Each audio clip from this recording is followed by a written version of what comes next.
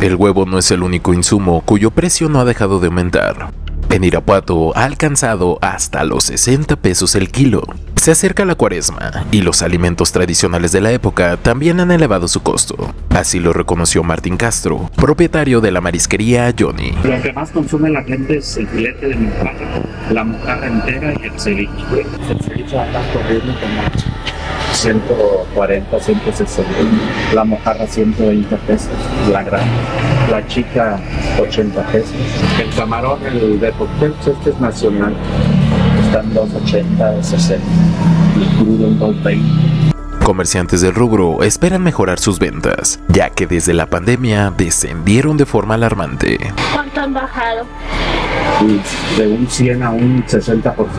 Desde que empezó el año las ventas bajaron.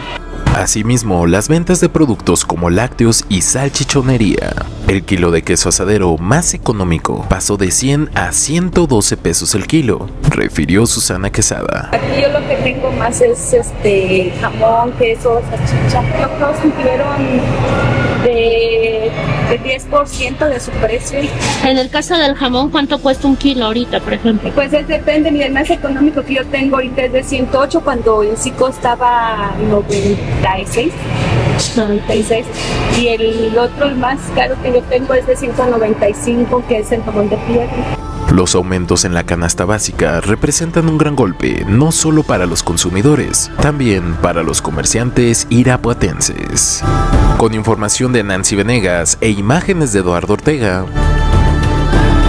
correo al punto.